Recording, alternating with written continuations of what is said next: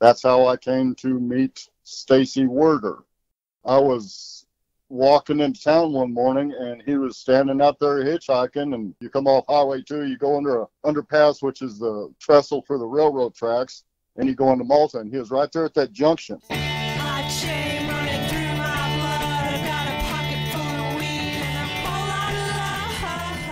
decided on a movie to watch went to the theater went in there got a couple of sodas from the snack bar walked in the movie theater was drinking talking waiting for the movie to start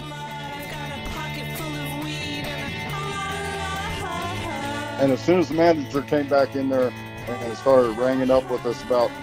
the disturbance and the whiskey and stuff, I left.